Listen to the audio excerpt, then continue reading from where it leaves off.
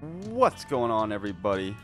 Your friendly neighborhood Andy Man is back yet again for a little uh, tutorial on how to use those badges to the most of their potential. So, first things first, you got to make sure you're able to get a badge.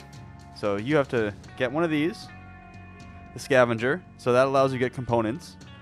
Then you get the craftsman building. After you build that, you're able to craft badges, and uh, you've seen me do that. Yes, you have. Oh, first things first. Uh, Uh, sorry, technical difficulties. so, well, after you use these, you gotta fill this up, and you've seen me do those badges in many other videos. So we don't need to do that today. But what we do need to show you today is how to use those badges properly.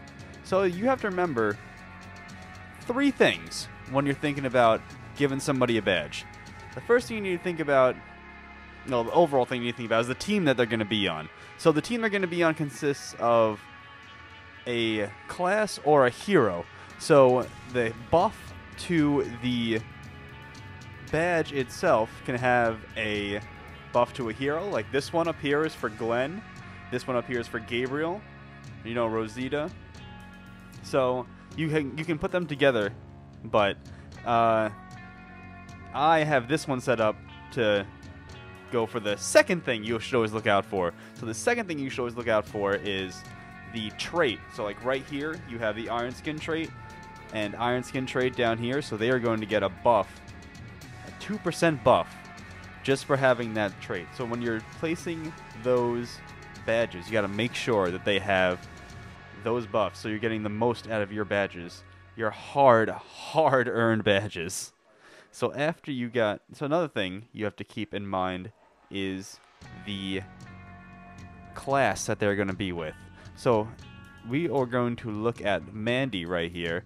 So Mandy is set up in such a way where Hunter, Hunter, Hunter, uh, Mage, a Hunter, and down here there's a Scout, but we don't we don't care about that.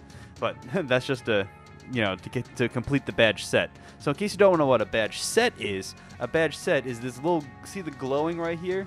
That badge set is because you have at least four, at least four of the same like circle or like down here. These badge sets down here. Hopefully I'm pointing at them. Like the different shapes down here. So she is set up to be good with a hunter. So if she's with a hunter, she's gonna get all those buffs. So I know that I'm going to put those guys with Abraham. And Abraham is always going to be the leader because he gets the bitch nuts. See, all assault hunters and shooters have 8% more health and 30% more damage. So I'm going to set him up with people who. Uh, I'm going to set his badges up so that he will be good with those types of people. So right over here, uh, a hunter and a shooter over here. So he and also you gotta set up the damage. So if you want him to, if you want a assault to actually do damage, you have to really buff him up. That's why I have a 13% and a 15%. And down here, I don't know if you can see it. That's plus 410 down there, plus 410. so that's uh that's how we get his damage up to uh, being where it is right there. But when he, he is the leader, it's over 5100. So that's always a plus. So now learning all those three things, we're gonna put that to work with where is she? With Miss Tara over here. So first things first, we have to notice that oh, it's highlighted. Thank you so much. So it's highlighted right here, vigilant. So she has vigilant. So we're gonna try to find badges that have vigilant and that they are in the same badge set and hopefully coincide with other badges for her team that we want to set it up. So she's a shooter, so I might want to use her eventually to be with an assault, aka bitch nuts, aka Abraham. So with Abraham, you always we're gonna have to see what she has. And I already I already pre-know this, so I'm not gonna be scrolling through and trying to find everything. I know I know what we're I know what we're looking for here. So we're looking for vigilant. Boom, right here. She has vigilant, and it is a spiky shape. So yep, we will equip that. Boom. And now we'll go around the horn, as it were. And there is another one up here for her. See, has an assault as a teammate. Abraham is assault. So always got to keep in mind the class and the hero. And the class is obviously better because it covers, because a hero is obviously only one person, but a class covers many, many, many people. So put that on there. Yes. Go down here. Find the next one. Bam, bam, bam. Oh, assault as a teammate. There we go. Give her that. And as we scroll down, we find yet again a vigilant. Ah, vigilant. There we go. Oh, oh, it'll be over here. There it is. Vigilant again with the same move set, and that will complete the badge set. And boom, now just got a 25% buff or a 20% buff. You guys can correct me in the comments if I'm wrong. But uh, there we go. So now she is set up to be a very good partner for an assault, and she already has the buff of 2% health and, oh, 4% health down there too. So she got a lot more health just from Asania because she has the Vigilant trait. So I just want to make sure you guys keep that in mind. Oh, and one other thing. Just because you gave him a badge doesn't mean you can't take it away. So right down here, we have... Hmm. That's a little low for me. So we're to see if we have a circle badge that will give her a better buff.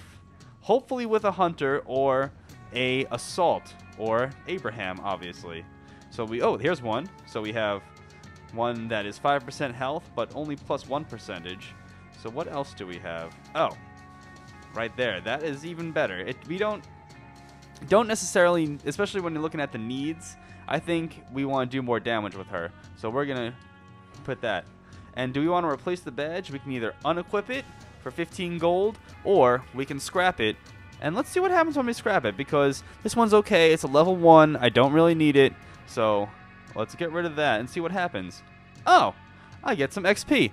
I will gladly take that XP. Thank you very much. All right, and there we go. Now she does...